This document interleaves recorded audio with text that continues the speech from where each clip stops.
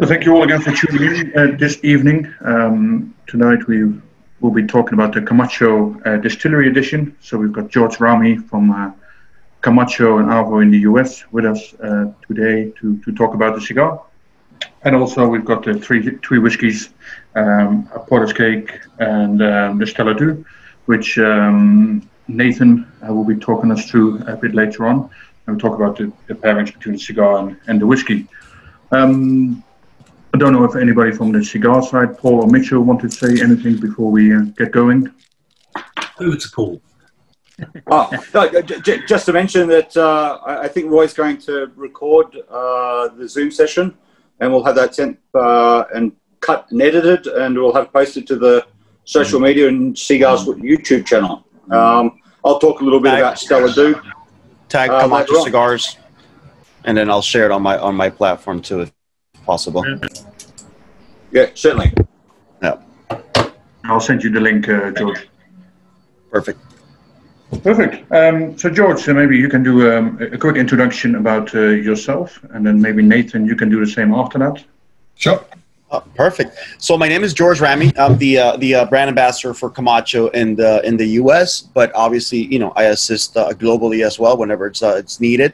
Um, been in the industry for about 16 years. I started in retail. Then, uh, uh, you know, for the past uh, eight years, I've been with Davidoff here in the U.S. And it's, uh, you know, I was the last piece of the puzzle when uh, when we did the the, the revamp for Camacho uh, back in 2013. and then since then, it's been a journey. We've transformed this brand into, you know, a global monster, basically. but here in the in the U.S., my basically my job is social media now and and and activations, right? Um, activations this year have been a little bit different than uh, than you know than previous years but basically that is uh, my job and now we're trying to engage through you know zoom chats and and you know virtual events in stores and stuff like that so um, i'm the camacho guy um, uh, here in the U.S. and, and you know whatever questions you have, you guys have, you know, you can uh, reach out on uh, on Camacho Cigars at, uh, at Camacho Cigars on Instagram, and, and you'll be talking to me. So you know, for that's for further notice. But um, today we're going to be talking about obviously the Camacho distillery, but just a little bit about you know Camacho. Uh, Camacho is a brand that started back in 1962 uh, by the gentleman Simon Camacho. Right, uh, the the brand bears his last name, and unfortunately he passed away in the uh, uh, uh, early 90s. And in 1995, it was acquired by the Eiroa family, which basically though they they were the ones that put together the name Camacho because they needed a bold name, but the brand was established in Miami at that point, uh, the Camacho. But the family didn't want to do anything to it, so the, the Eiroa family acquired the brand and, and merged what we have now, which is uh, the Corojo part of, of, of the brand and the brand itself, right? Um, so both of those things, the brand Camacho with it with its signature Corojo, um, was launched in the year 2000 here in the U.S. and and it, it was a disruptor of the industry because uh, prior to to that, even including that Davidoff cigars, uh, all cigars were mild to medium. There was no really you know stronger, bolder cigars out there.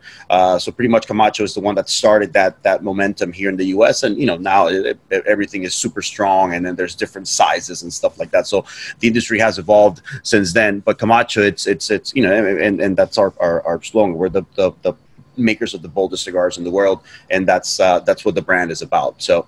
Um, as as we go, I'll, I'll throw in a few a few more more things about the brand. But in a nutshell, that's uh, that's that's what we have for now. I'm gonna light up.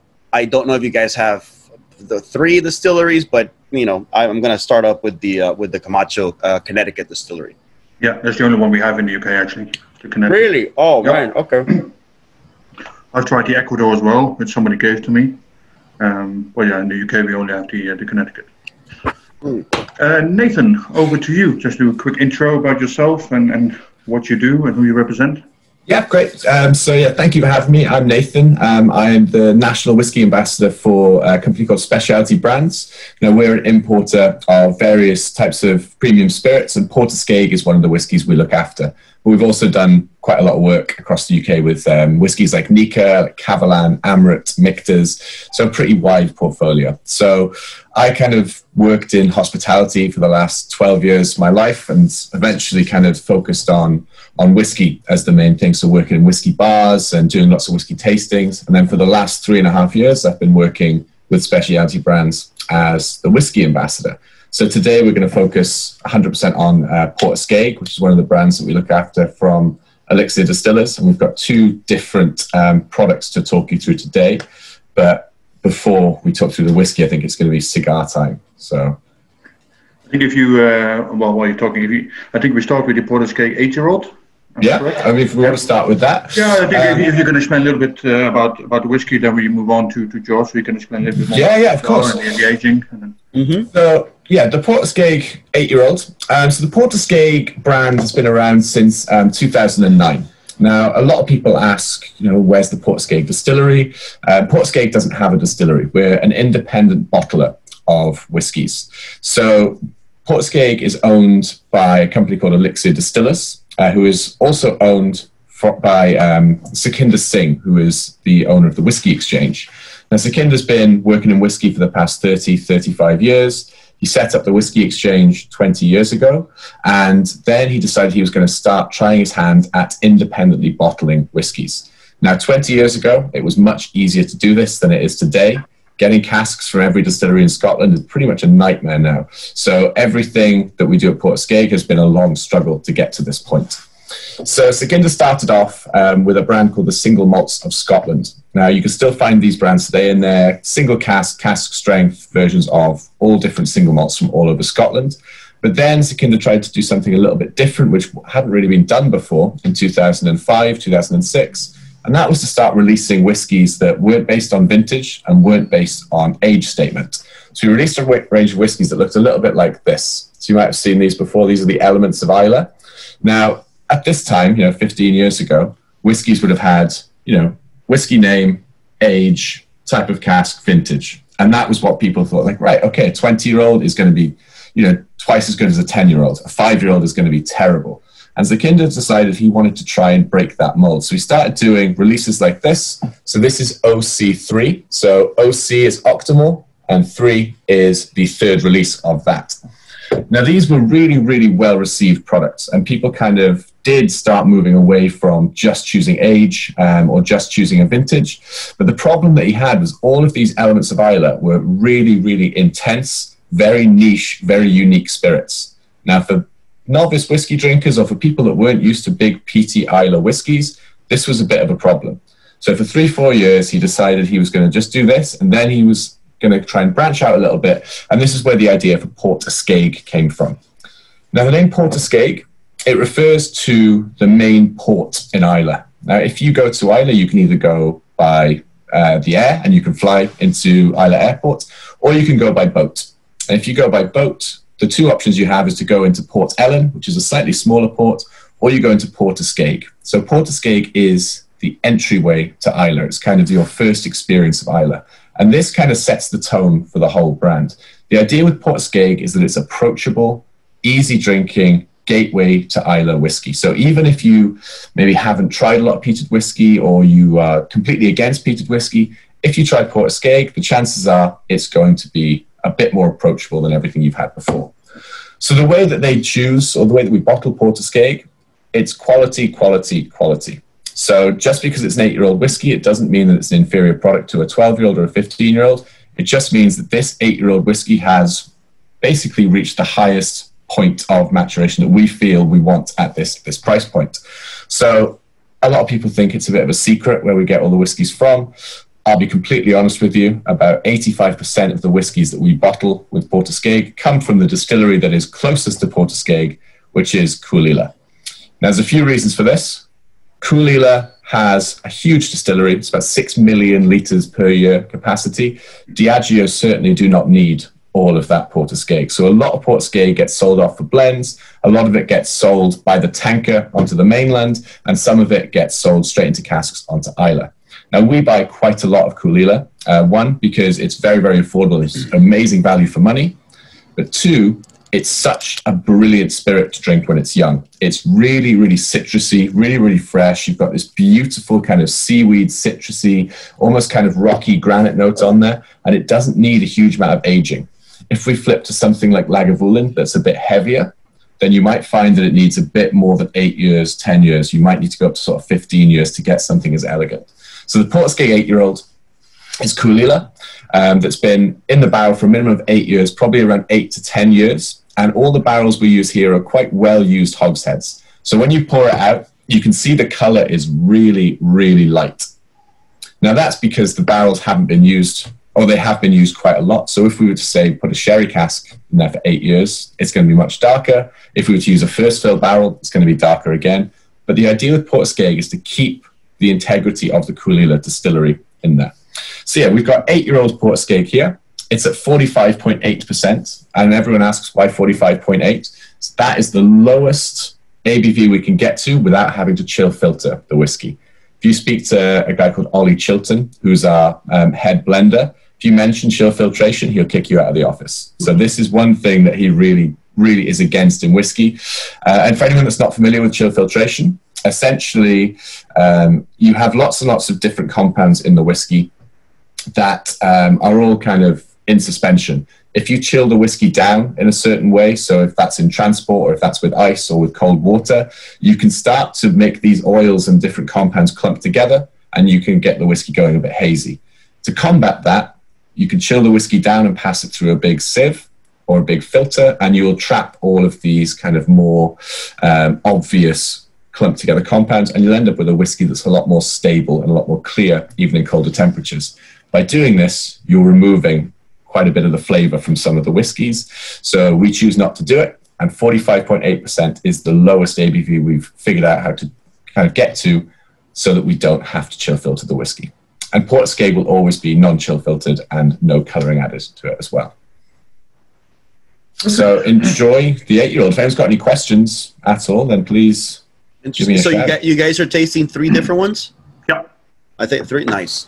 Yeah. Nice, nice, nice, nice. Uh, yeah, Port Askaig eight-year-old, uh, the hundred proof, and then uh, Stalla Dhu, which is a C.Gars uh, own. Is is are those? Is it? Are they sold here in the U.S. by any chance? Port Askaig 800 proof, definitely in the US. Um, What's the price point on something like that? so the eight year old in the US uh, is probably about 70 to $75, and the 100 proof about 80 to 85 Oh, okay. All right, so it's uh, it's decently priced. That's good. Yeah, because I saw the picture. I'm like, hmm, how can I get a hold of these so I can do this, this with you guys? But it was just I, I, I couldn't uh, I couldn't uh, uh, get around because um, I have a, a, a baby. You know, I, we just had a baby, so it's just it consumes the entire all your time. Yeah, so yeah, yeah. I can't I can't even go to the liquor store now. Um, Yeah, but whiskey's so low I'll- on I'll priority list when you have a baby. very, very. I had to just dig into uh, my uh, my um, my cabinet here, and, and I'm I'm pairing it with a, uh, a peerless rye whiskey, right? Uh, and this one this one's pretty good. I did a, a live show with uh, Bourbon Blog, and then they, they sent me these. But this one's amazing. It's not probably not the experience that you guys are having, but at least I'm trying to fit in, right? and it's it's it's 114 here, so hmm, by the time we finish, it'll be a, a, an early day for me. Nap time, yeah. Yeah. No, and it's my my uh, my my wife's birthday, so you know we'll have some Oh, people congrats. over later. So you know, I'm just kind of setting the tone here. Absolutely. um, we'll move to you, uh, George, and, and, and talk a little bit more about uh, about the cigar, about uh, how did the uh, distillery edition come about, and uh, you mentioned in the beginning there's three different kinds, even though we only get the Yeah. In, in, in the UK. Yeah. So, um, okay. So let me just step it back a little bit and and kind of put together the brand, right? Camacho and the Corojo. So Corojo was uh, the the tobacco used mostly for wrapper. Uh, for you know, it was it was used in Cuba, right? It was uh, it was created by Daniel Rodriguez in um, in in Pinar del Rio, Cuba, and it's what Cuban cigars pretty much had. Um, the wrapper that they were using on it in its heyday, right in the 80s, 90s, and then they had a they suffered a, a, a just a, a blue mold, uh, uh, you know, epidemic on their on their on their plant, so they had to create a um, a hybrid seed, right? So at that point, it was no longer you know original Corojo, and that was in the mid 90s. Now. In the 60s, in 1964, if I'm not wrong, is when just the whole you know nationalization happened with Cuba and all that stuff. So the growers had to flee Cuba with their with the with seeds basically, right?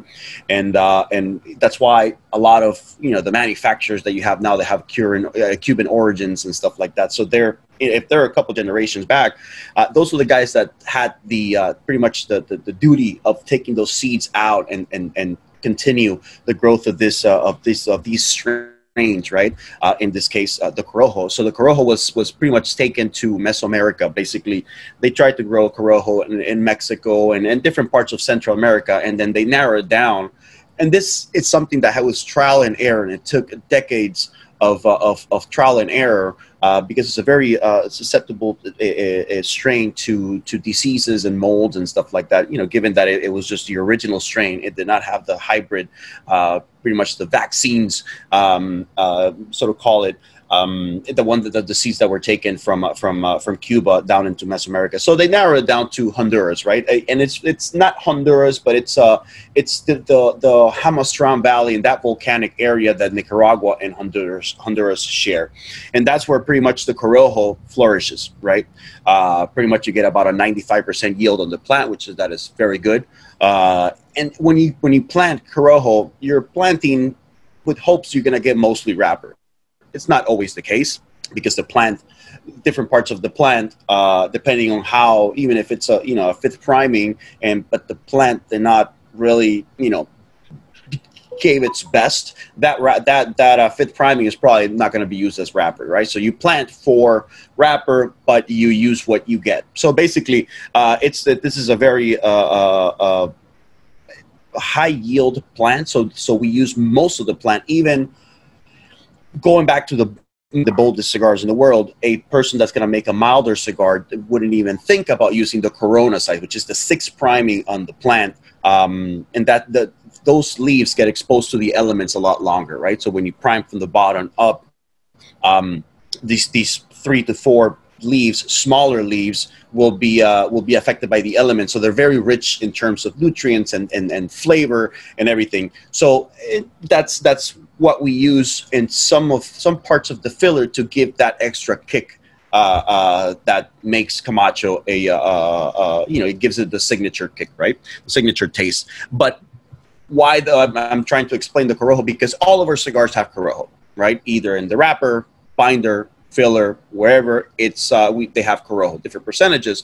But for example on this Connecticut Connecticut our, our regular core line it's our best selling line you know, going back to in the, the, the masses smoke mild to medium cigars, right? Um, there is a market obviously for bolder cigars, but you know the, the just the in general uh, uh, the numbers don't lie. Our Camacho Connecticut, which is our mildest one, it's the one that sells the most, right? So and that one does have Corojo. So the Camacho Connecticut has been around since uh, 2009. That was the first venture between Camacho and the previous owners, which is the Eiroa family. Um, so we use the best tobaccos from both countries to try to come up with a, with a milder blend, right? That was not the, the, your typical Camacho from 2000 to 2008, which it was bold cigars, right? Um, so the 2000 in 2009, the Camacho Connecticut was born, and then until 2015 when we came out 16 when we 17 when we came out with the distillery edition we only had that core line right and then we have the distillery um, I'm going to explain the distillery in a second. Then we had the Camacho Ecuador, right? The Ecuador was back in 2016 um, to try to fill a, a, a, gap in our portfolio, right? So we wanted a blend that had a little bit of, of, of, of floral notes, some citrusy uh, notes, a little bit of pepper. So we started using the, the, you know, some Brazilian tobacco in it that gave it those floral notes. So that was the Camacho uh, Ecuador, right? And then we have our Camacho, which is this one here, the Camacho Ecuador. Unfortunately, you guys don't have it over there. And then we have our Corojo. Now, this is 100% Honduran Corojo, right? The seed that we've been protecting for the last 40 years, um, you know, perfecting, protecting it, just, you know, uh, uh, using that, that, that same Cubanesque flavor profile for our cigars. Um, this is the Camacho Corojo uh, distillery. Now, what we did with the distillery edition, which is pretty much we used in our last chat, we had uh, we were featuring the uh, Nicaraguan barrel age and the American barrel age, right? Which is a process that we use of of of, uh, of aging our tobacco, not infusing it. We're not pumping any any uh, any bourbon in, in there or, or, or rum in the Nicaraguan uh, side of things, but these are aged in um, one part of the filler, which is the corojo, it's aged in the uh, bourbon barrels for six months, right? Just to give it that nice little hint of it. Uh, of but the the blends are the original ones. The blend that, that I described in, in 2009, the Connecticut, that is our best selling cigar, the Ecuador, the Corojo, those are the same blends. Now we grabbed a little bit of the filler, which is usually one leaf, right? And we put them inside these uh, these bourbon barrels, right? Uh, at some point, we were using a, a Bulleit bourbon. We've used uh, uh, Jim Beam. Uh, I can't name some other ones, but um, they stay in there for six months. And every two weeks, the guys come open up the the barrels, switch the tobacco around, so that everything has a fermentation, the standard fermentation process as it, as they would have in a uh, in a traditional bale, right? So that gives it uh, some nuance of flavor that then is added into the uh, the recipe to make the distillery edition. So basically, if you're a, a Camacho Connecticut lover, you know that, that you've been smoking it since 2009, that is the Camacho that you like. This one will give you the same flavor profile, so you won't be alarmed that it's a different cigar, but it will give you know a different taste, uh, something new to the blend that uh, that for the most part has been very uh, very successful. Some other people are very you know stubborn and they want what they want, and then they want the quality and consistency, just like they do with Davidoff cigars. You know, um, and but you know it, has been a very fun project to be able to to kind of pair this with uh, with uh, with the same process that we use for our, our, our some of our best sellers, which is the American Barrel Age and the Nicaraguan Barrel Age. So pretty much what we did, we grabbed the same blends that have been you know our core lines that that are you know sell very well for us and, and have a, a great audience around the world, and tweaked it and we added that bourbon uh, uh, aging um, process to it that just kind of like tweaked the blend a little bit to make it a little bit more entertaining. Instead of coming out with a new cigar, uh, we decided to come up with a distillery edition, which is just, you know, it only comes in one size, which is the Toro size. And we believe the Toro size, when you're going to experiment with the blend, is the, it's the best size to kind of you know throw out there and uh, and and have people enjoy. So it only comes in one size, the uh, the six x fifty Toro, uh, and like I said, it's the same blends, just kind of tweaked a little bit with that aging six months in the uh, in the barrels. And now we use we do six months for American Barrel Age and Nicaraguan Barrel Age. We use five. We, we do it for five. We age it for five months. Why six months? Because the amounts of tobacco that are actually used in the filler and and and um, and in each one of the of the lines it needed a little bit you know more. And this is trial and error right? So the distillery was in and we started doing the distillery uh, trial and error when we started doing um, back in 2015 actually. So the idea was to do the american barrel age and then what what else? What are we going to what what's what's next right? We did the rum one which is the nicaraguan barrel age but the distillery was already in the works. Uh, we were kind of you know uh, just just thinking about how the, the, the, the consumer would react as to having a just a regular Camacho and then just adding the bourbon. So we wanted to wait until we had established the rum, the Nicaraguan barrel age, and the American barrel age to launch this one. So this is, there was a lot of trial and error. So we decided to use just one little piece of the uh, of uh, which is a very small uh, part of, uh, of, of the filler and age it in these barrels, but still gives it that nice and that extra month gives that nice little uh, tweak that we were looking for. So um, unfortunately, it's just you guys have not probably tried the other ones, but each one is a different experience, right? The mildest one being the uh, the Connecticut. I believe that in terms of aroma and flavor, uh, you can pick it up a lot more on this one that you would on some of the other ones due to the fact that they have bolder tobaccos, right? The Nicaraguan one and uh, the Nicaraguan, the, the Ecuador and the Corojo are, are spicier, bolder. Uh, you get a lot more citrus. You get a lot more going on on the strains that are used in those blends. Um, but I think the Camacho, the Connecticut one, is the uh, the best one when it comes to tasting the, the the the just the tweaks that we did to the to the blend. Which uh, which bourbon was used for the for, for the aging? Is it? Uh, I assume it's, it's the same bourbon as the American Barrel Age. Is it a different bourbon? Um, it is. You could pretty much use any bourbon, right? Because it's so subtle what the uh, what the, the the, the the impact that it has on the uh, on the tobacco, right? If we were to use, I don't, I don't know, I would say fifty percent of the filler of this tobacco, then yeah, it would probably matter which which bourbon you would use. But it's just it's just so subtle that it's getting pretty much the main characteristics of of the bourbon. And we've used, like I said, you know, uh, we've used Bulleit bourbon before, which is you know one of my favorites Yeah. here, and uh, Jim Beam. Right, and then what's what was the other one that that, that we use? I think we used Buffalo Trace, but the ones that I can I, I am certain because I saw the barrels. It's uh, um, the Bulleit Bourbon and the Jim Beam, right? And and once you open up, and I was thinking I had I had some pictures to show, but uh, once you open up the barrel, that aroma, you know, it's so pungent that it, it just it just it, it becomes a, a sensory experience because you're looking at this. You open it, it smells. You can almost taste it, right? Um, and then you get the tobacco and dough. You get the. I would say that when these are freshly rolled, which is in terms of quality and then consumer acceptance, it may be a little too harsh. But the, when they're freshly rolled right off the the the, the rolling uh, floor with with the bourbon uh, uh, aged tobacco in there, you can really taste it and possibly even smell it. Now that's that may be a little too much for the consumer. They would think it's infused. They would confuse us with Drew Estate, blah blah blah. But that's not the case. Um, but I think it- it's just it, it quite the experience, right? And with Cam Camacho, which I'm wearing the shirt now, uh, we get our consumers get to experience that when we take them down to the factory, and then you see all these 50, 60 barrels that are just aging there and we open up one it takes three guys to open up the barrels and it's just the whole process and that happens every two weeks. Um, the, the aroma that just kind of like you know surrounds the atmosphere once you open up that barrel it's just just it's quite the experience.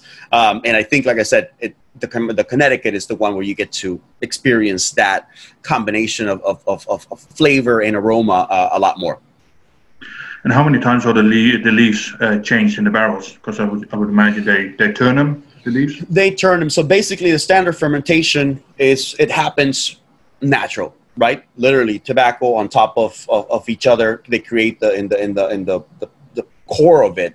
It create it can create a, uh temperature up to hundred. Well, you could some people heat it up just to to fast forward the process, but naturally it will create anywhere from 105 to 120 degrees temperature in there, right? Um, we have to make sure that whatever is on the barrel, which is enough to about make about six thousand cigars, we have to make sure that whatever was on the top or bottom makes it to the center, because that's where the magic happens.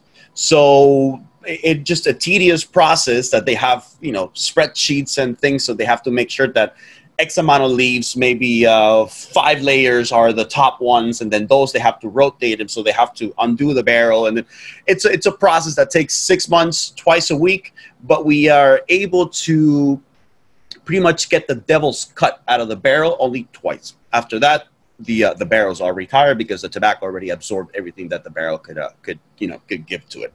Um, but yeah, so th- basically that that's just it's what the tobacco is getting. It's getting the absorbing the devil's cut out of the barrel, um, and that happens you know eh, twice a week. Eh, eh, I'm sorry, every two weeks for the for for six months. So it's it's a tedious process, but the result is something that I think it's uh, it's quite entertaining for the consumer. So we're pairing it with, um, with, with, the Polish whiskey, which is a bit peated. So, in my opinion, that kind of counteracts the little bit of sweetness the cigar has, Mm-hmm. which, which Yes, I find quite nice. very creamy, Yeah. sweet. Yep. Um, but what would you normally say as a uh, as alternative uh, pairing suggestions? I guess bourbon is, is, is quite an obvious one. I guess. Bourbon, bourbon Um, would but be maybe something uh, which is a little bit out there, like we're doing with with, with, with peated whiskey. You know, is there something you've tried with okay that shouldn't work, but it does really I've, work? I've, become a tequila uh, Ah. uh, uh, sipper, and, and I've had it with. Um, I mean, this this may be a little bit out of of, of, of, of budget for for a lot of people, but we were able to you know score a couple bottles of of Don Julio 1942 Okay, yeah. right?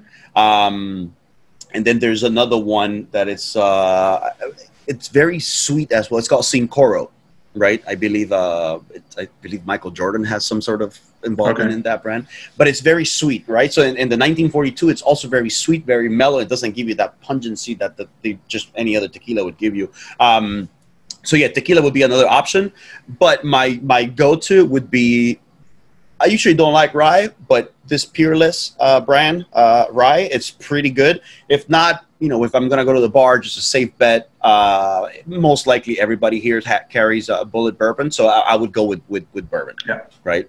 Um, I think it, because this one it's it's on the milder side, so anything that may disrupt that it may overpower the uh, the cigar, and at that point, then you don't have a parity, right? You have Yeah. a, a, an even battle. Sure. Um, I think we're going to go back to, to Nathan for a bit and talk about uh, the second whiskey, which is the uh, 100, 100 proof. Yeah, absolutely. So the Port Askaig eight-year-old is, like I said, the the entry level, the flagship. Um, but there's there was always a bit of a demand, especially about ten years ago. We really started to see an increase in people looking for cask strength whiskies, indie bottling cask strength, and especially Islay cask strength whiskies. Now, if you go to you know the distillery releases of say Caol Ila or Laphroaig or Lagavulin, and you're looking for these cask strengths and normally distillery only editions, they could be 90, 100, 150, all the way up to kind of like three, 400 pounds just for a whiskey that's at a higher ABV. So Ollie and Sukhinder both decided they wanted to bring out something that was, you know, slightly higher price point to the uh, Port Askaig 8, but had that same style. And it just was a way to really showcase how ABV affects a spirit. So the Port Askaig 100 proof is the old Imperial proof. So it's 57.1% ABV. Um, and this is what 100 proof used to be in the old British system. In the US system, proof is just double ABV. Um, so that's a bit easier to work out. But the Port Askaig uh, 100 proof is the same makeup in terms of casks and distillery as the Port Askaig 8. So we took Caol Ila uh, off Islay in a tanker. We filled it into our barrels in uh, just outside Glasgow, and then it sits in the warehouse for sort of between seven and ten years for this one.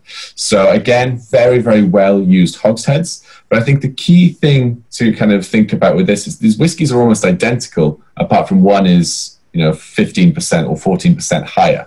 Now on the palate, a high strength whiskey or a high strength whiskey is in one in some ways it can kind of feel uh, a lot creamier uh, it can also feel a lot more cooling because obviously alcohol is a solvent so some people are a little bit wary about super high strength alcohol i think when you've got really high quality spirits like Caol Ila make having it at cask strength or even straight off the still at like 70% abv you can still drink it now if you want to add a little bit of water to it by all means go for that. I'd recommend trying it neat first. So I think the nicest or my favorite way of drinking whiskey is is cask strength whiskey.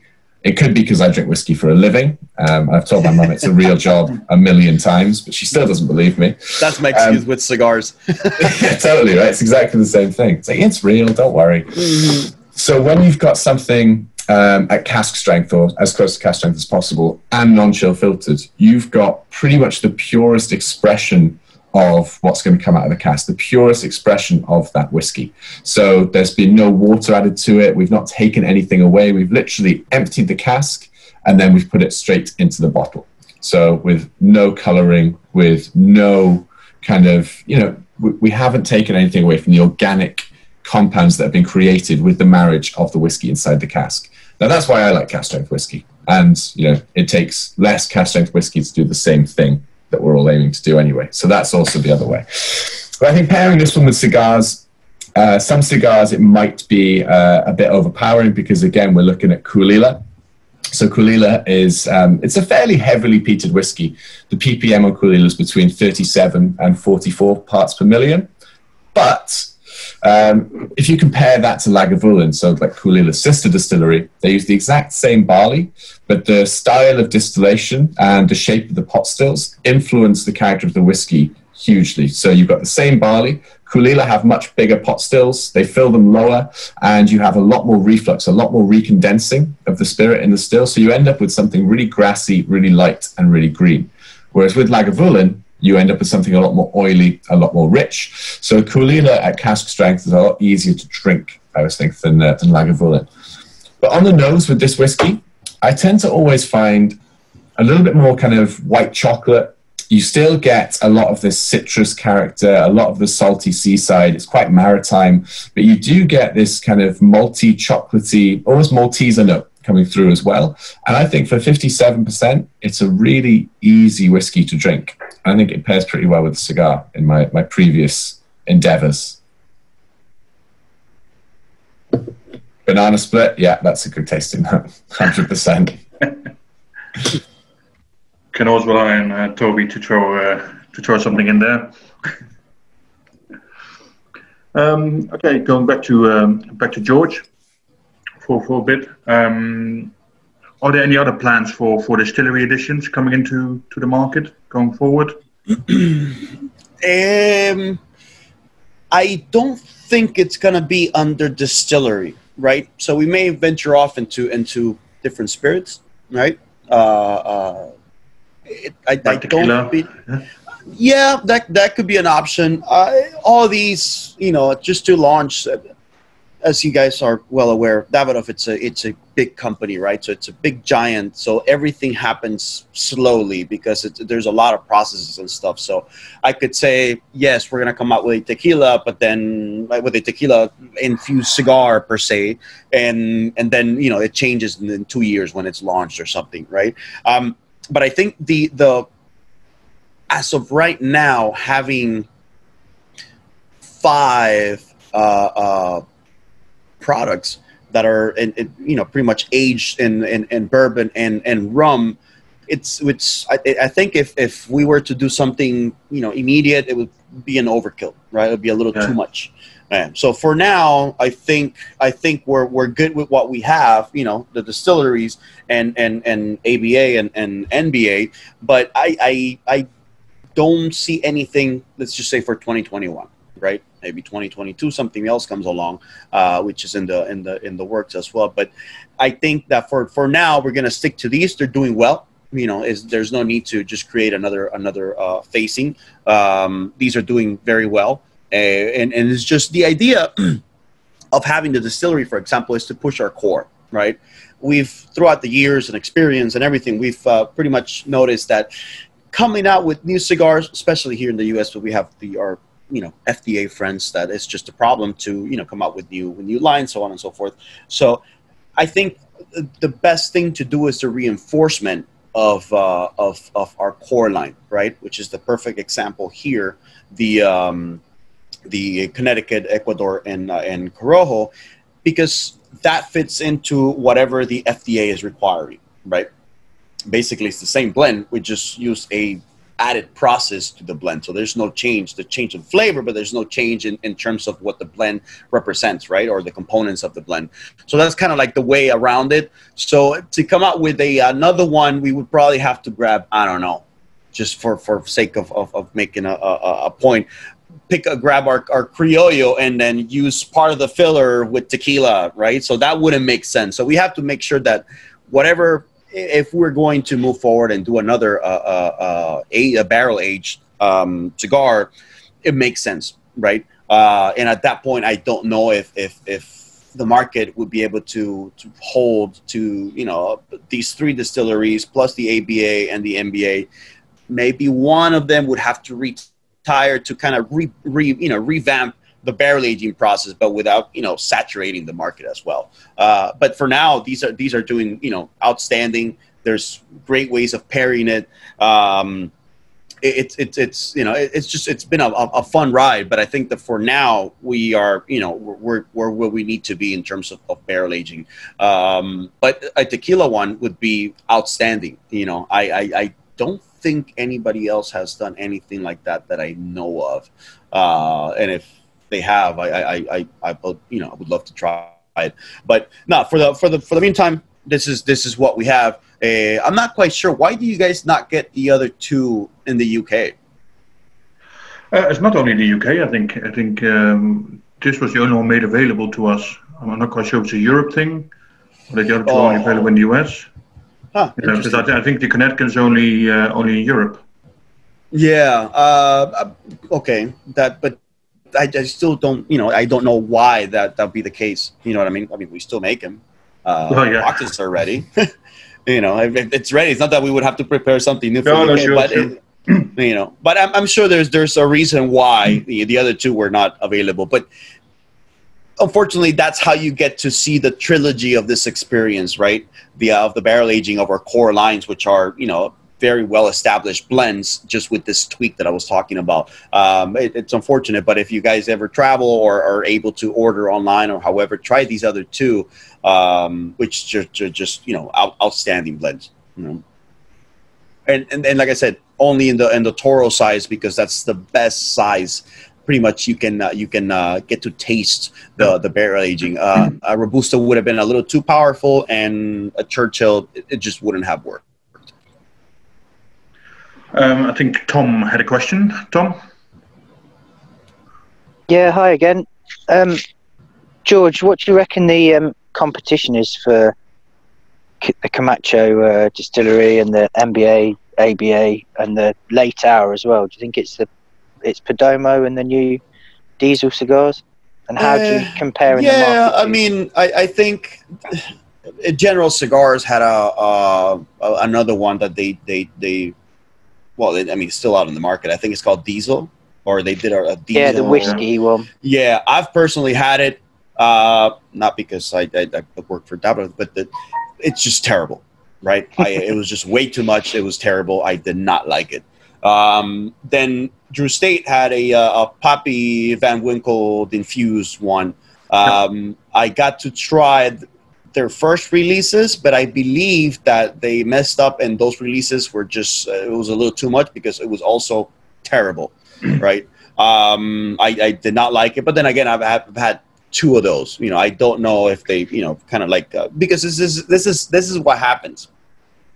They launched a product that they had not tested the blends in. They they, they didn't fine tune the recipe, right?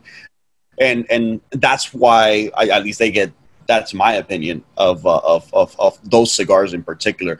Um, I think Perdomo, uh, Diesel from from General. Um, you have uh, uh, the Drew Estate with with that Pappy one, and I'm I'm I'm, I'm quite I'm, I'm leaving another one out there that I can't recall right now. But there is there's some other ones out there, right? Uh, but there's a difference between almost infusing the cigar with the with whatever you know spirit of choice, and then just aging part of it. You know, uh, so that it gives you a subtle uh, taste profile that uh, that that tweaks the blend. But and that, and that's what we do. You know, so we just want whatever, however we're going to tweak the blend, it has to be very subtle, right? Uh, especially on our core lines, because the idea is to offer a new you know a new avenue to our already established smokers of these three blends in particular you know. Um, and and and back in 2015 with the american barrel age that was just uh, uh, a, a it, had this wow factor around it because even though i believe uh, there was a couple other ones out in the market i it was actually uh, perdomo had a, a some sort of barrel age one uh, at the moment and just the way that our blend came out after you know a couple of years of trial and error it, it's it's it, it was perceived by the uh, by the consumer a lot better than the Perdomo did right? Um, it also depends on the marketing you know that, that you have behind it. We uh, we we pushed really hard for American Barrel Age and and you know we we pretty much tripled our budget that we had that year and that one in particular. So it, it depends. But you know in terms of competition we we see the competition as competition just because we are sharing the same consumer, right? But we're not trying to come out with the same product just to try to, you know, put a different band on it and and and and and, and take that away from the consumer. We want to give the consumer a choice. Uh, we're very innovative with the processes that we use. Not that we reinvented the wheel with the barrel aging process, um, but I think we we fine tuned it to where it works for us, and that applies to you know Camacho and uh, and and the Davidoff one as well, the, the the late hour. I'm not really you know uh, just where how the the the, the blend is composed of and, and what what tobacco is aged in the in the barrels for the late hour, but uh but the idea is the same, right? To create something new, to try to bring. It, pretty much, you open the door and you want the consumer to walk in. You don't want to just push them in. You know, um, that that's that's basically the idea, at least for for for Camacho. And how long's the uh, tobacco aged in the distillery edition? Because the ABA, which I'm going to have next, is a what's that? Five months. Six, but six year. But it's a six year aged cigar. So it's a Um, six year, and and that changes a little bit with uh, with the um, with the distillery edition, right?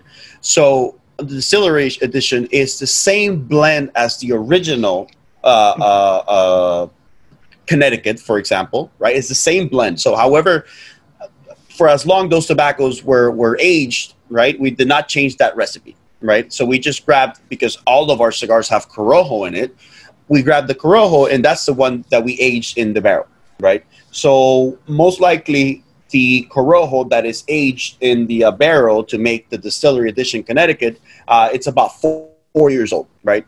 Um, and that that that's usually it's most likely the same for for all three lines because that's just the way the recipe is in our in our regular production uh Corojo, Ecuador and Connecticut. So so basically that's what it is. There's no change in in, in aging uh the blend in general to achieve this this uh this you know this nuance that we uh that the barrel aging process uh, uh produces. But um yeah, so I would say about about 4 years of of of whichever you know the, the component of, of the Corojo component of the cigar um, has been aged. That that's that's pretty much it's about four years, uh, which is different than the uh, ABA and NBA. Perfect. Um, so out of the all the um, the barrel aged ones, which one would be your favorite? The Connecticut. Connecticut, yeah. Yeah, because it's the one that, like I said, you get to smell you know taste a little bit of that nuance. It's uh just that barrel aging. So it, it increases a little bit of the sweetness of the blend which is already creamy as it is. So i think it's uh and, and in terms of the, the aroma that uh, that you get from the cigar you get that those hints of bourbon right? That it's that that i think they're they're they're more palpable when it comes to the uh, the connecticut. Because the other ones like the uh, Corojo, for example this one the smell and everything and you get a lot more more pepper some leathery notes because of the way the tobacco the way the blend it's composed right? So you Yeah. get bolder tobaccos uh, like i was explaining the the cro- the, the priming of the plant you get a, a tobacco that is from higher up in the plant. So that kind of like overpowers a little bit. You still get it but in my opinion uh, and we have die-hard fans of the uh, of, of each one of these um, but in my opinion i think it's a connecticut um, plus, it's it's such an easy cigar to smoke at any time of the day, right? Uh, this one you can light it up in the morning, no problem. It could be your last smoke of the day, between you know at, at lunch or whatever it is. It's a very pleasant, it's a very easygoing cigar, and it's uh, it, it, it's it's it, it, it makes itself available to any palate, you know. Let's see if we can uh, get some of the people on the call to uh, to talk about the pairing. What they think of the cigar and the whiskey. Any thoughts from anyone?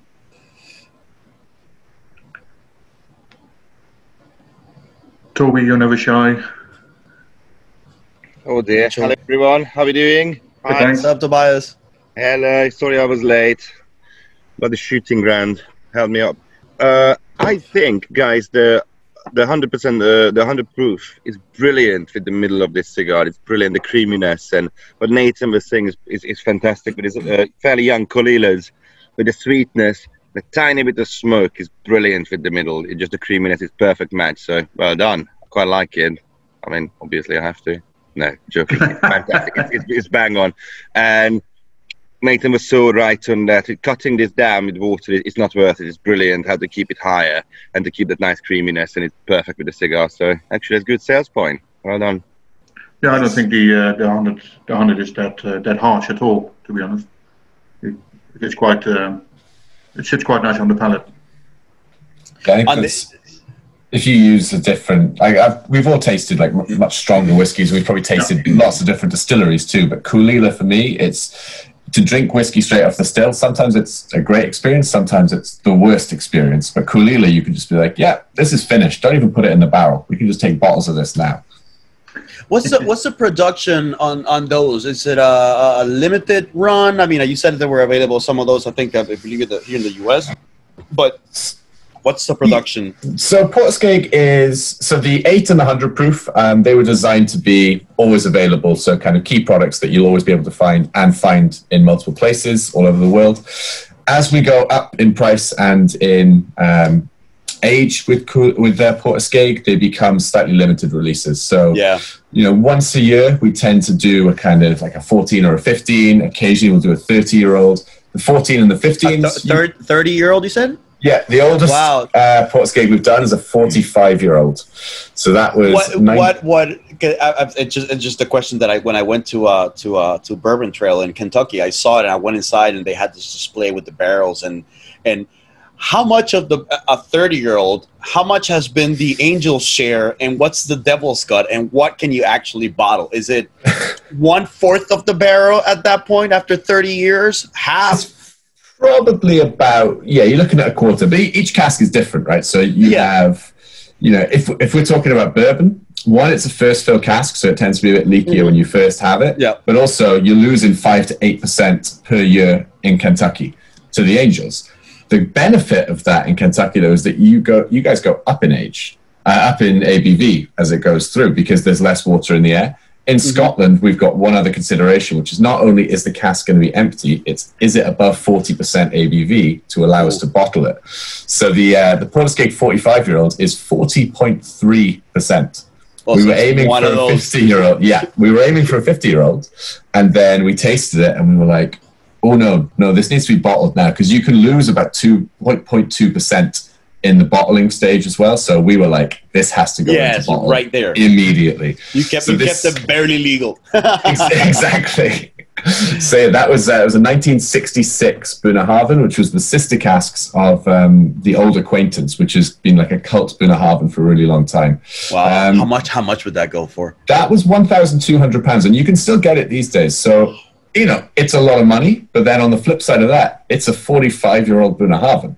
Oh So- no, of course. And then, but my you- question, like, of that one, how many bottles were produced, for example? Uh, so that that was five sherry butts, um, which you'd expect. You know, so a sherry butt, we're looking at 500 liters. So you'd expect to have got maybe after 45 years, there was probably about a thousand, thousand five hundred bottles of that. I can find out exactly how many, you but waited that that we wait that long to get that amount. the amount. tiniest, tiniest amount. It's crazy. It's crazy.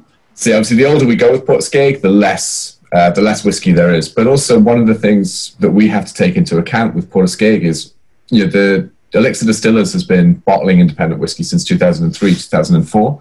So, if we were only buying new make from then, the oldest whiskey we'd be able to release is a 16 or a 17 year old. So, a lot of the business, um, especially with, with most indie bottlers, is having a steady supply of casks of the right quality. So, occasionally, so the Port Askaig 28, for example, we found four casks of that that were on a pallet of stock that we bought, um, and it just said Islay single malt. No idea which distillery it came from. No idea whether it was Laphroaig, Lagavulin, but it was all the same single malt. We knew that, um, and a lot of people. So most people at the office were like, "This is definitely Laphroaig." So bottling a 28-year-old Laphroaig, um, and we sold that for about 280 pounds. You can still find it now. If you look at the Laphroaig 25, it's about 550. Laphroaig 30 is about 800. So one of the benefits of being an indie bottler is that you know we can find these casks sometimes, and because people didn't know what it was, we can be like, okay, well we can put it out at this price. Yeah, and so you have the benefit of being able to try lots more interesting whiskies as well. So yeah, the Port Askaig range is, is vast. I mean, we've done 15-year-old unpeated, 12-year-old sherry casks. We've done a 10-year-old anniversary release, um, and then there's individual um, casks that will go to different countries as well. So Belgium had um, a 1997 Caol Ila cask that was bottled just for the Belgian market, and then that kind of happens in the US as well. So it's it's a Wow. fairly inclusive brand. There's, there's a lot of different things you can taste at Port Askaig, but it will always have the same you know, drinkability. It should always be at a really affordable price point for the quality, and it should always be really approachable at the same time. Yeah, my mouth has just got watery of thinking. Uh, where does the name uh, Port Askaig come from, Nathan? The Port Askaig, it's um, it's the name of like I said, the main port on the island. So when we were shopping around, or when Sukhinder was shopping around for for names, this was before I was legally allowed to drink. Um, he was kind of looking at what would be the best thing to call, you know, the brand that, you know, kind of showcased an entryway, a nice kind of easy first bit or first kind of experience of Islay. And that happens as soon as you step off the boat. So if you get the, the Calmac ferry from Kennacraig, which is what most people do, you know, three and a half hours on going through the Hebrides, and then you get to Islay, and it's almost like time stood still there. So you kind of get there, you're like, oh, it's really quiet. It's really calm. And then you look around and then you see a massive distillery spewing smoke over in the corner, and that's Caol Ila.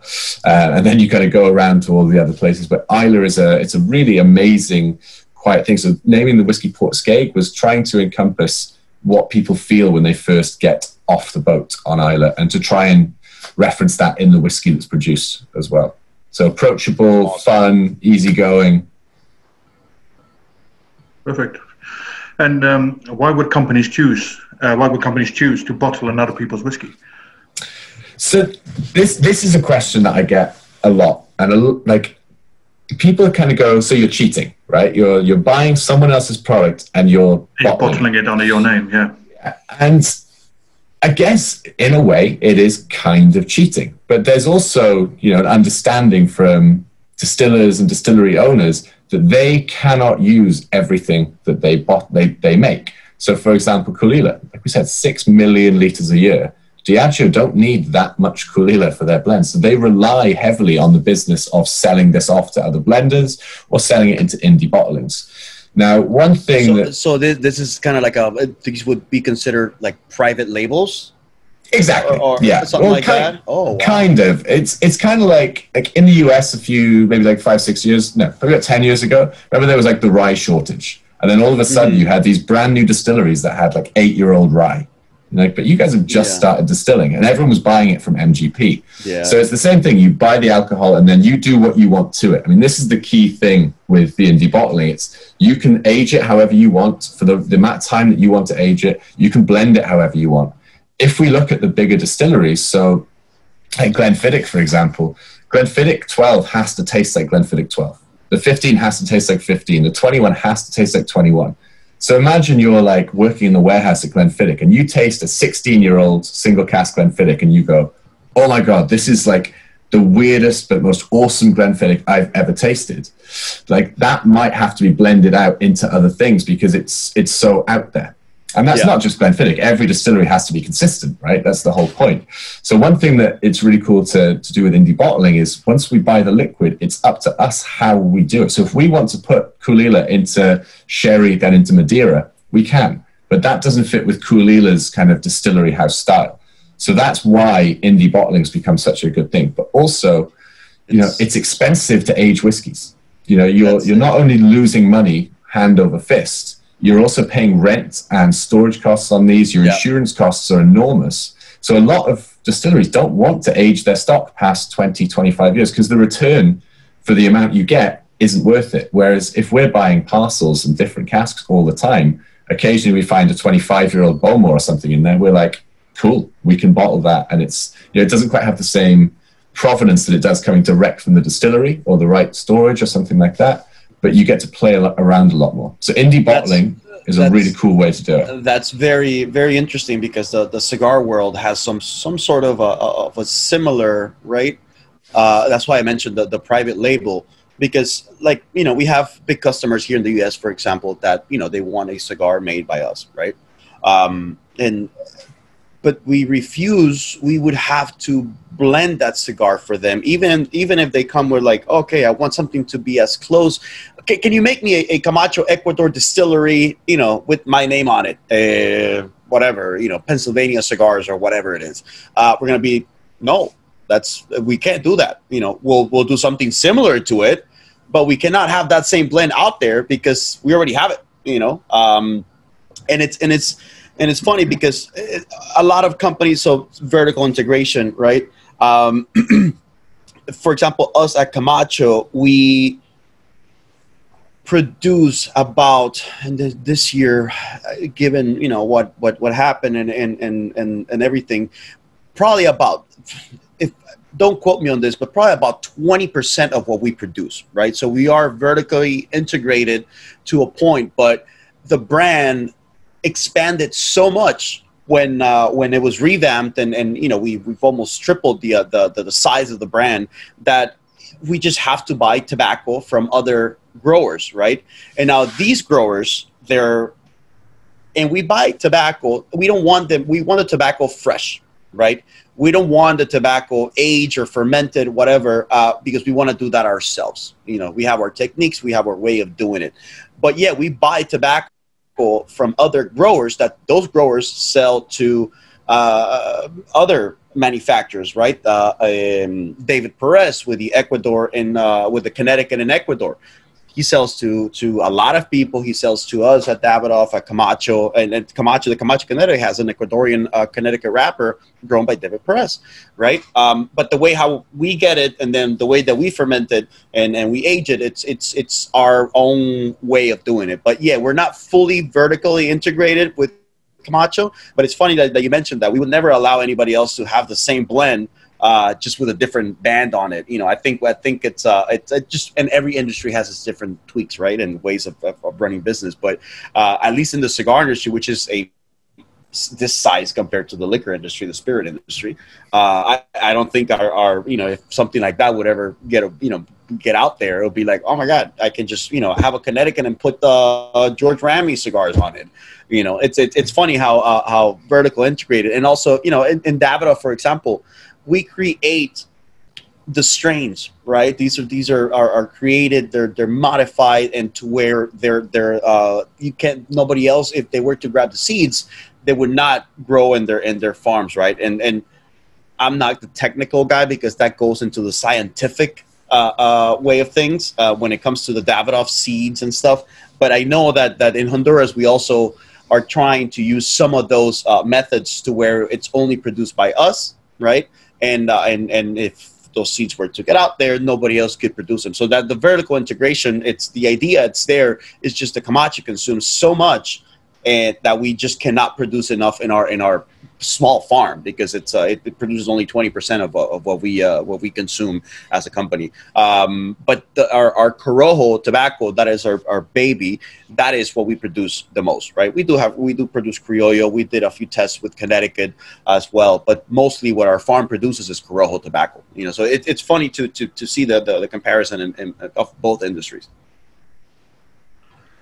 um, I think we'll move on to the uh, to the last whiskey, which is Stalla Dhu, which I believe is also Caol Ila. Am I correct? Uh, that's correct. Uh, so many of you would know that uh, actually produces uh, their own independent bottling as well under a brand called uh, Stalla Dhu. So within the range, uh, we have a core range which is a standard Speyside Highland, and we also have a, a Cigars Orchard Selection malt um, which have been produced for a number of years. About three years ago, we started uh, releasing single cask uh, lines, and we've done nine different variants. The latest one that we did is the Caol Ila as well. So, because we're doing Port Askaig, which is mainly Caol Ila, we've uh, selected this uh, bottle that we've included in the samplers today. So, this is a cask strength, so it's 60.4% ABV. So, it's a little higher uh, than the, the previous two that we've just had. Uh, but they still have that uh, same characteristics. The, the peat is very soft, has those uh, floral sort of notes, quite soft on the palate, but you will notice the, the higher ABV if you, you sample these. So the, the range of uh, Stalla Dhu um, is all multi-award winning uh, whiskies. Uh, last year, we actually won the Independent Bottler of the Year at the Independent Bottlers Challenge by the Whiskey Magazine which was uh, a, a, great accolade. Uh, a selection of uh, whiskies that were created and selected by Ron Morrison and Mitchell Orchin. Uh, you can go and search online for all of these whiskies on cigars.com. Hope you'll enjoy it. Thank you. I think Anthony just put the link up for people who want to have a bit more information about uh, the whiskey on the cigars website.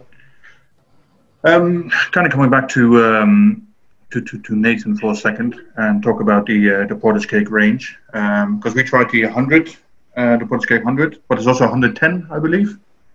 So 100, 110. I think the 110 was just for the US market because then that 110 proof there, it was just 55%. So it was the same thing, but 100 proof was different in the US to it was here. So the 110 is the same liquid, but just re-labeled uh, for the US market.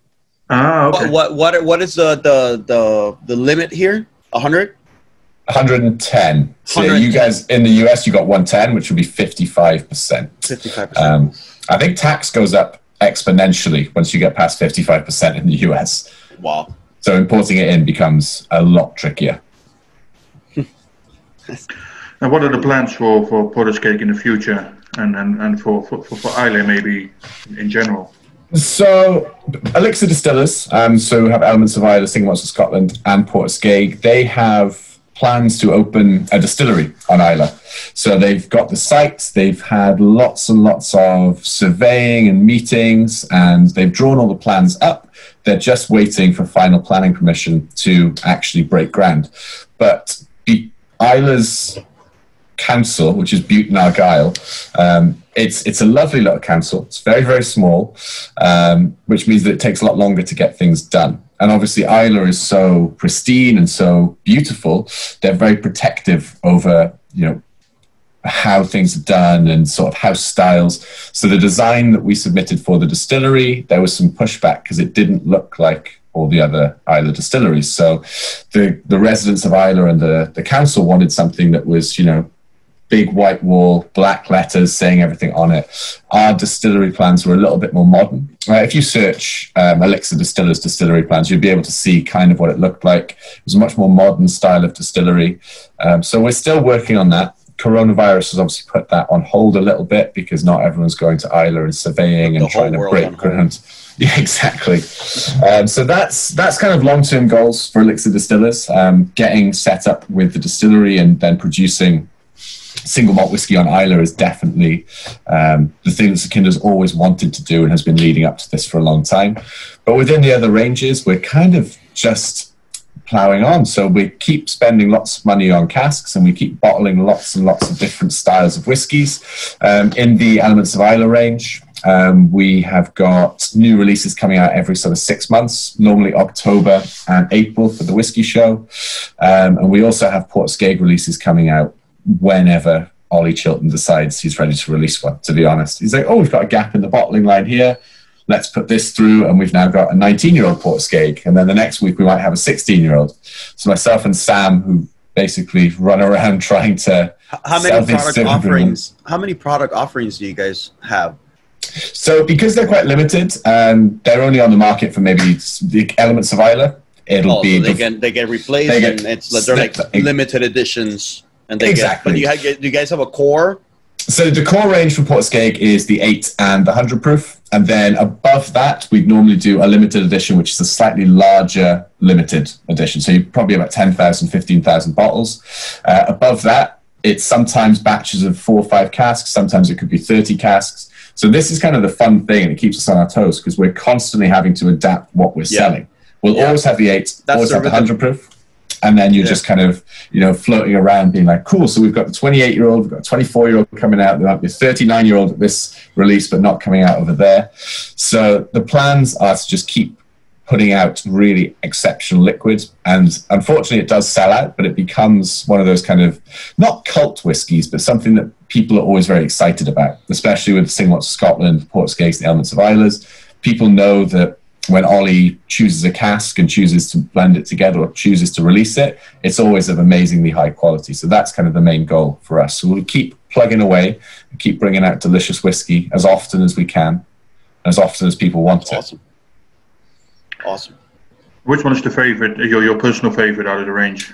Ooh, I'd probably go with the 100 proof. Yep. I mean, it's it's kind of like your kids, right? You're not supposed to have a favorite, but you yeah. do um, so yeah, the hundred proof is one of those where I think it has everything. It's got you know, really, really integrated peat. It's got a really nice, subtle kind of seaside note to it. It's got an amazing texture. It works great in cocktails as well. So if anyone's into cocktails, you like your old fashions, Manhattans, whiskey sours, this is kind of a really perfect whiskey to go with it.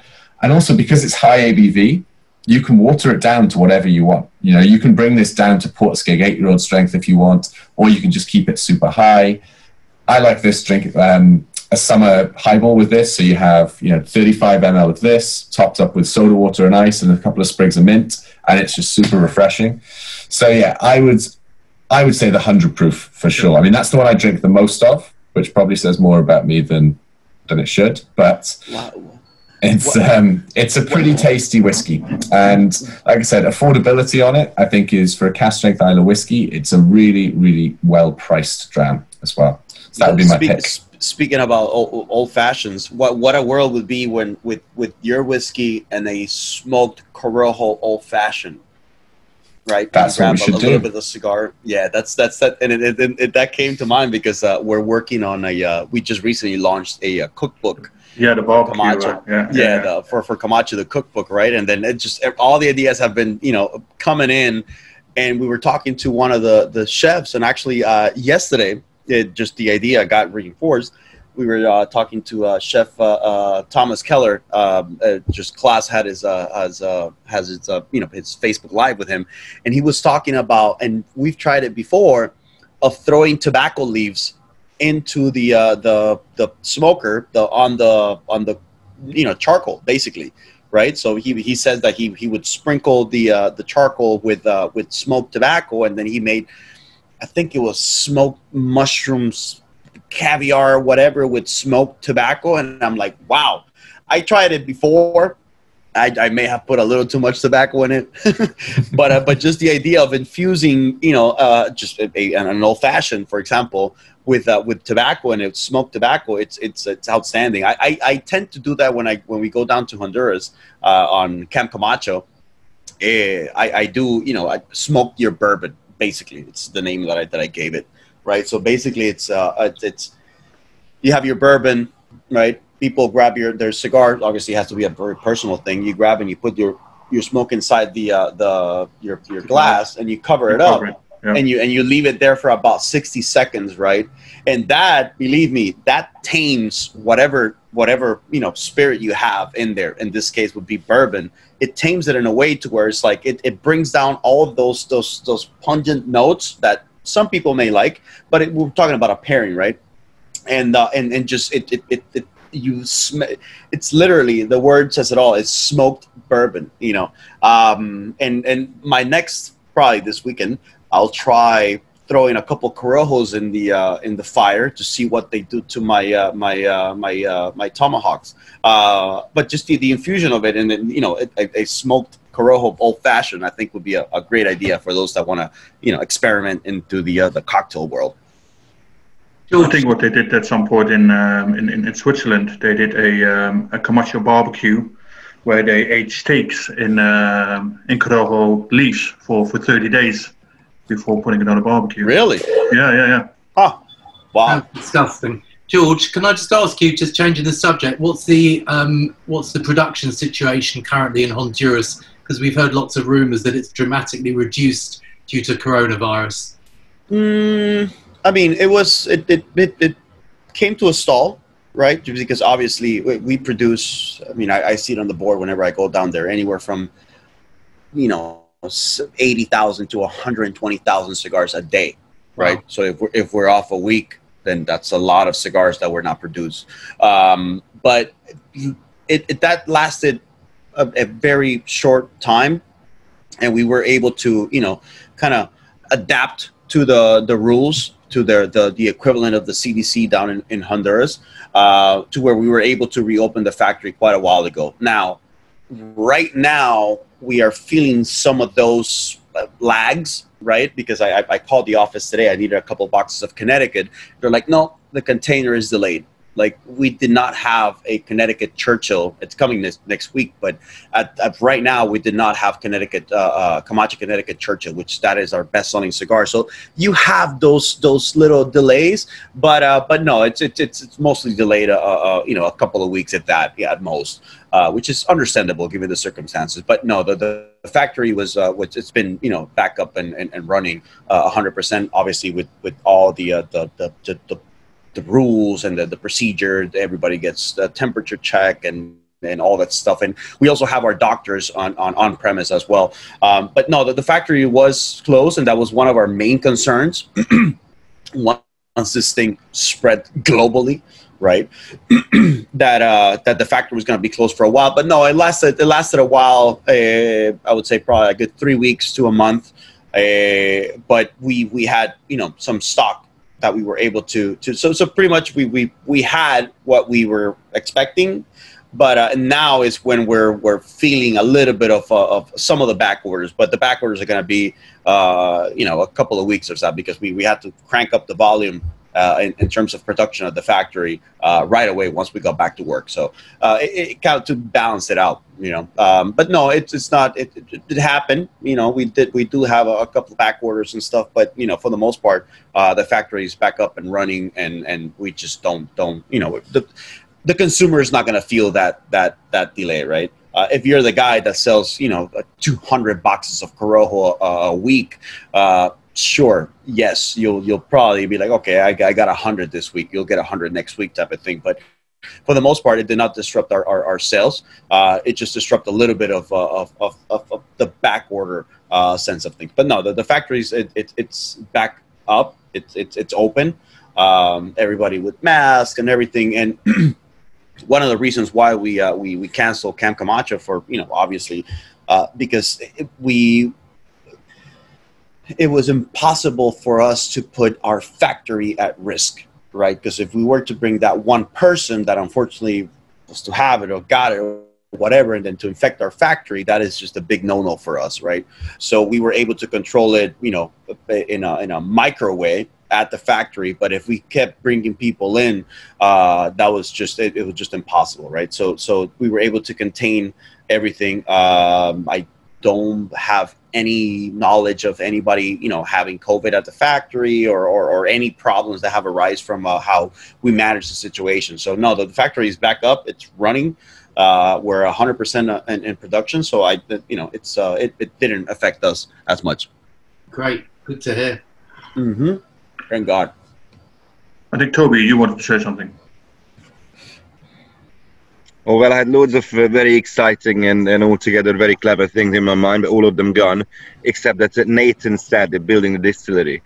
And I would like to remind everyone that a very big company called Macallan, by the way, it's even bigger company behind that, just put a, it looks like a new spaceship basically at the distillery. Uh, with some grass on top. It's very, very sweet. It cost about 120 million pounds, if I'm right. Oh.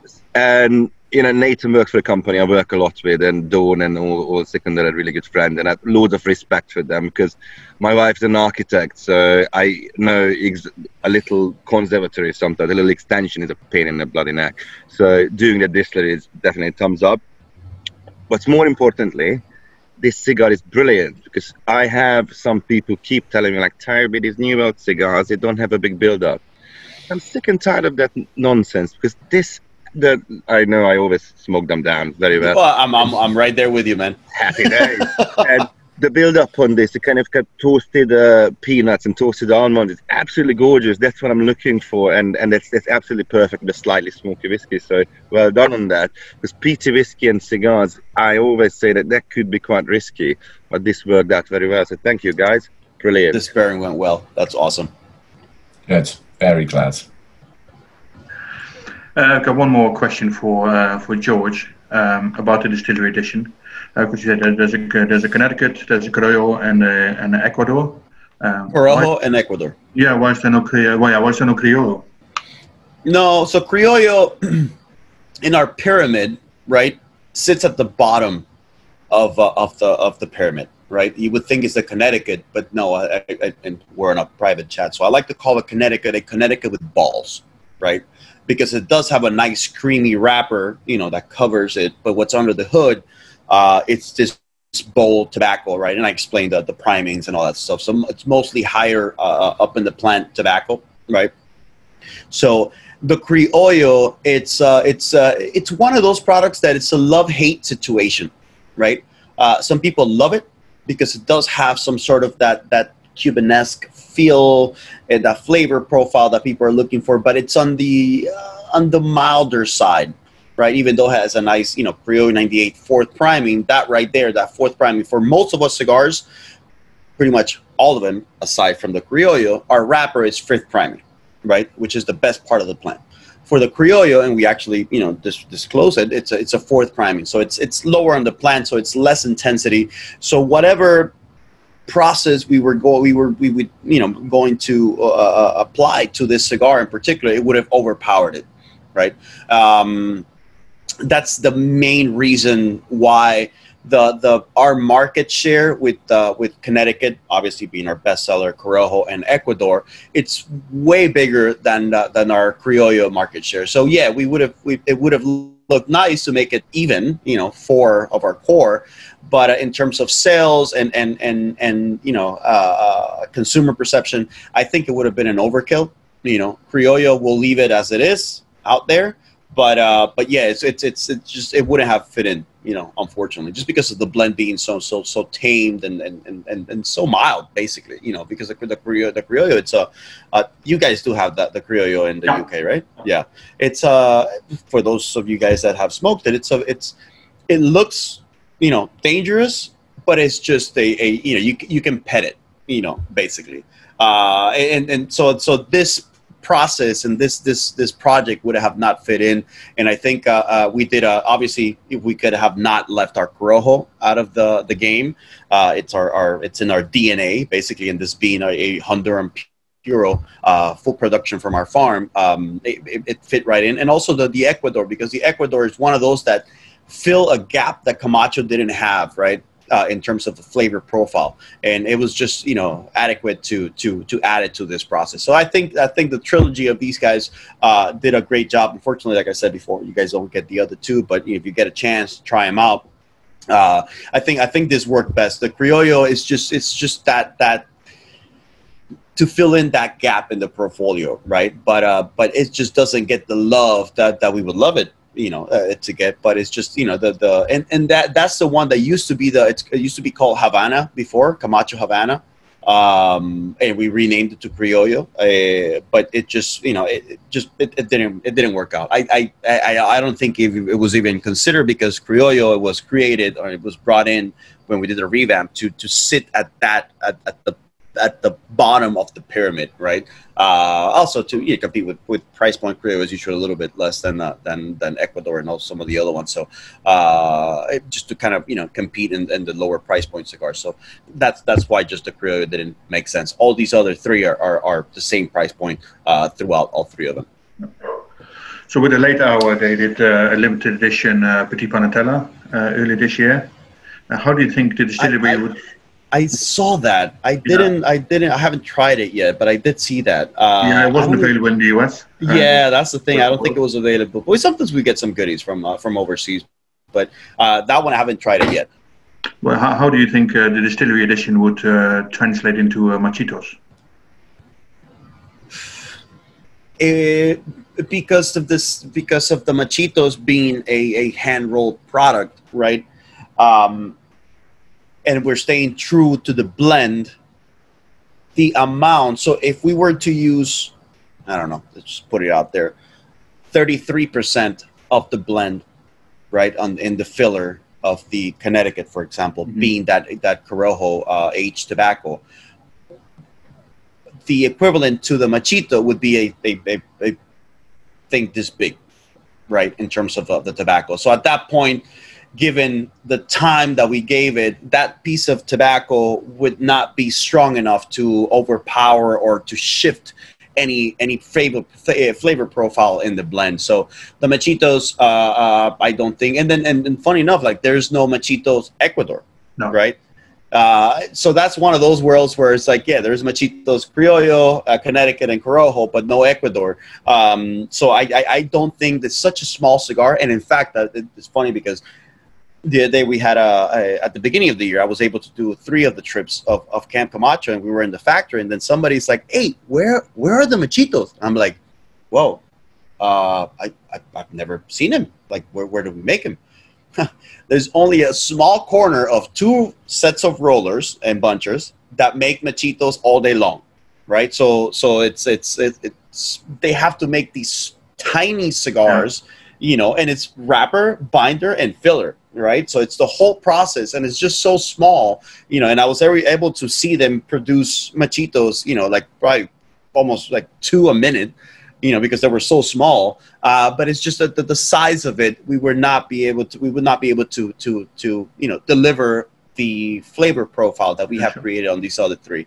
That's that, that's that's just the the only reason why. So, how many machitos do they make a day, roughly?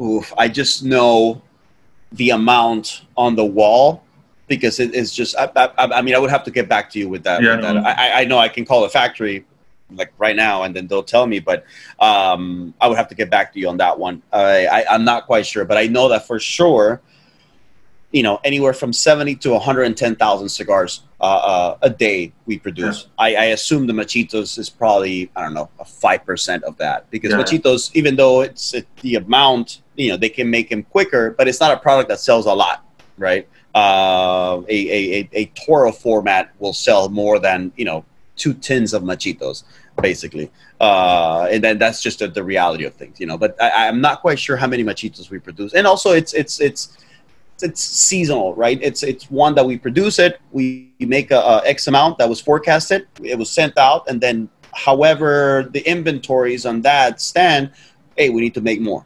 You know what I mean? Because it's not that the factory produces an X amount uh, uh, yearly, and then the, just this product that gets shipped out to either you know the Switzerland or or, or Germany or the U.S. or distribution points, and it just sits there, right? So it's all forecasted. So it, it, it kind of depends, but but it represents a very small amount of our daily production per day. Especially during uh, COVID um, here in the UK, the Machitos has seen a, a big increase in sales. But yeah, I mean, it's just the, it's, the, it's the, the, quick abundance. smokes. Yeah, It's the yeah, abundance of time now. absolutely, yeah, the abundance of time. Absolutely, and we, we we've had periods where we we couldn't buy against it. As soon as they came in, they were gone again, and then Switzerland was out of stock, and we, we had to buy them from Belgium and reapply the Yeah. health warnings, and yeah, that's uh, Yeah, no, but the, the machitos are always it's uh it, it they've been around for a while. Now I don't know if at some point we'll, we're gonna come out with the Camacho cigarillos, right? Which it was even smaller uh, uh, format. Uh, I'm not quite sure. We still have Camacho cigarillos with the old packaging, right? So I don't know what the deal is with that. Uh, uh, but I know that that, that that we still have some very minimal quantities, of course. So I'm, I'm not sure how, how they're being distributed, but uh, yeah, that, that is one that we just haven't, you know, gotten a chance to Into- revamp and, and bring back Yeah. because it just it's it's it's represents such a small uh, part of, of our sales, right? Uh, we want to pretty much focus on, on on what makes the company a healthy company in terms of sales and whatever the consumer wants as well. You know. yeah, perfect. Um, does anybody have any questions for either um, George or uh, Nathan? Oh, right. I'm just going to mention uh, we've got our social media promotion as well. So, any uh, social media posts, uh, Anthony's going to post into the, the chat room some of the tags to use, and uh, we'll review those posts tomorrow. And we're going to give away a bottle of uh, Port Askaig 100 proof and a bottle of uh, our own Stalla Dhu Caol Ila um, tomorrow, and we'll na- announce those by the close of business tomorrow. So, go, go to the chat rooms, pick up those. Uh, those tags. We, we should also put a Camacho tag in there, Anthony, and uh, I'll share whatever you guys send my way.